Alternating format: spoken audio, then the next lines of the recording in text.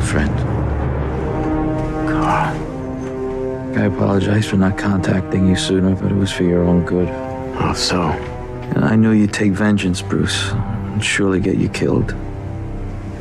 They said you burn up in that transport van. Detective Fusco took a big risk that night. He got me here. John and Harold brought me back from the brink. Speaking of the good detective, he's worried about you, John. We all were. Who did this to you?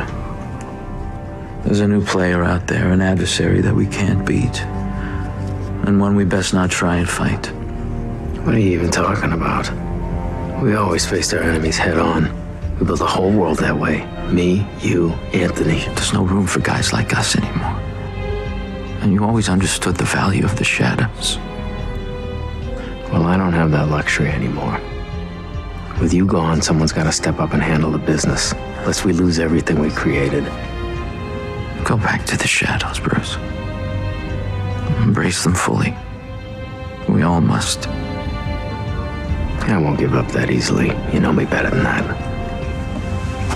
You take care of yourself.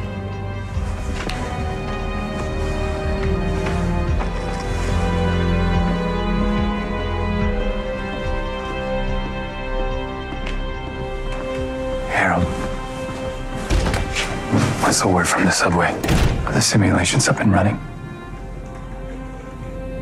There have been over 10 billion scenarios so far. And I'm sorry to say, the machine is struggling. So, how bad?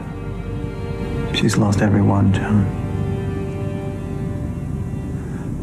I'm afraid we're fighting a war we can't win.